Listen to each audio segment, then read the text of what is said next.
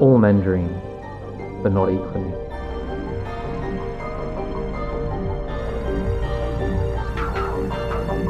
This I did.